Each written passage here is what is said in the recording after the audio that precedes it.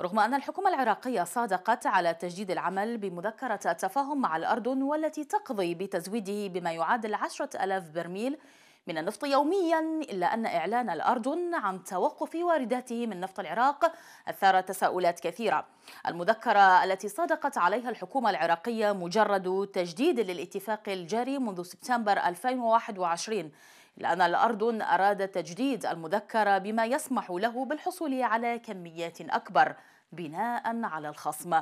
والذي يبلغ 16 دولارا أقل من سعر خام برنت لتغطية تكاليف النقل والتأمين ويشكل الاكتفاء بتجديد المذكرة وفقا للكميات السابقة نفسها.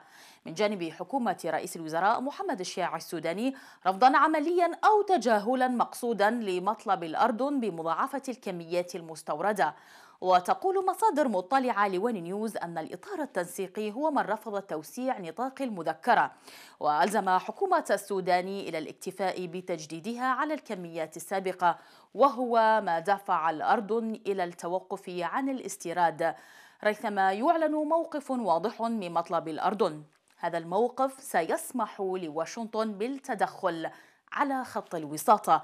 لا سيما وأن السوداني سبق وأن تعهد للرئيس الأمريكي بالعمل على توطيد الشراكة مع الأردن ولكن ضغوطات الجماعات الموالية لإيران على حكومة السودان تبدو وكأنها قد أصبحت عقبة تقف في طريق تحقيق الأهداف المعلنة.